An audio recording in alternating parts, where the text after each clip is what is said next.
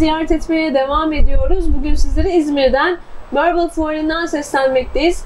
Ve yine sektöründe önce bir firmamızdayız. Uzun yıllardır yaptığı başarılı işlerle ismini duyurmuş, marka haline gelmiş bir firmamızdayız. Yanımızda yönetim kurulu üyemiz Oğuzhan Bey bulunmakta. Bakalım bizlere ne gibi değerli bilgiler aktaracaklar. Oğuzhan Bey merhabalar. Merhaba. Nasılsınız? Teşekkür ederim. Sizler nasılsınız? Bizler de çok iyiyiz. Bu yoğun fuar temposuyla birlikte bizi ağırladığınız için ayrıca çok teşekkür ediyoruz. Rica ederiz. Evet uzun yıllardır biraz önce de bahsetmiş olduğumuz gibi sektörün içerisindesiniz. Yılların verdiği bir tecrübe var tabii ki birikim var. Oluşturduğumuz bir müşteri portföyümüz var. Ve babadan aldığınız bayrağı en iyi yerlerde taşıyorsunuz İnşallah. baba mesleğiniz. Firmamızı tanıtacağız. Fakat öncesinde izleyicilerimizi ben sizi biraz yakından tanıtmak istiyorum. Buyurun siz tanıyalım. Ben Oğuzhan Doğan. e, 26 yaşındayım. Yaklaşık 3 senedir e, maden sektöründe aktif olarak çalışıyorum. Babam e, 35 senedir maden sektöründe. 35 yıllık bir tecrübeden bahsediyoruz şu anda. Evet. e, mermer'de 2008'den beri mermer sektöründeyiz. Onun öncesinde madenden gelen bir tecrübesi var. Hı hı. Ondan aldığımız bayrağı inşallah daha ileri götürmeye yerlerde çalışacağız. taşımaya devam edeceğiz Evet. diyorsunuz. Evet, şimdi madencilik, e, mermer e, Hı hı. aklımıza geliyor ilk olarak. E, Birçok çeşitleri bulunmakta. Öncelikle e, yerimizden, e, merkezimizden bahsedelim. Üretim alanımız mevcut. Bu taşları tedarik ettiğimiz yerler var tabii, Hı hı. çıkarttığımız yerler var. E, Bunlar taş ocakları oluyor. Tabii ki. Bu şekilde isimlendiriliyor. E, Detayları sizden alalım buyurun. Tabii. Bizim merkezimiz Denizli'de. Ee, mermer fabrikamız Denizli'de bulunuyor. Ocaklarımız Isparta'da, Muğla, Milas'ta var. Ee, yine Afyon'da var. Ee, Akşehir'de var. Ee, mermer ve madenler olarak ayrılıyor. Mermer Bu ocakları. ocaklardan e, çeşitli taşlar, doğal taşlar çıkarılıyor. Evet, evet. Ee, Isparta ve Afyon'da mermer çıkarıyoruz. Muğla Milas'ta alüminyumun ham maddesi olan boksiti çıkarıyoruz. Aydın bölgesinde e, cam ve seramiğin ham maddesi olan kuars ve feldspat madenlerini çıkarıyoruz. Nazilli'de e, birçok maddenin ham maddesi olan talk madenini çıkarıp işliyoruz. Talk mineralini işleyen Türkiye'de e, birkaç firmadan biriyiz. Yine hedefimiz e, 2027'ye kadar tüm madenlerimizi işleyebiliyor olmak.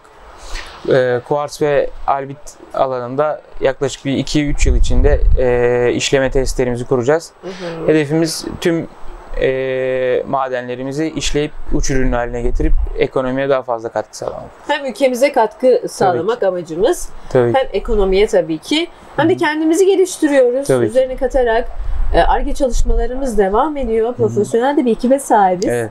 Kapasitemizden biraz bahsedebilir miyiz? Tabii yaklaşık bizim beyaz yaka olarak e, 40 kişilik bir ekibimiz var. Yönetim kadromuz, mühendislerimiz. E, hepsi de kendi sektörlerinde bilinen, tecrübeli Hı hı. çalışanlar. ARGE çalışmalarımız madenleri işleme konusunda bu aralar biraz daha yöneldik. Ee, en büyük hedefimiz o, o şekilde. Yani hiçbir madeni ham satmak istemiyoruz. Bütün madenlerimizi işlemek istiyoruz. Merkezimiz Denizli'de dediniz e, ve tüm Türkiye'ye hizmet veriyorsunuz. Evet. İhracat konusunda da hı. önemli işler yapıyoruz. Tabii ki.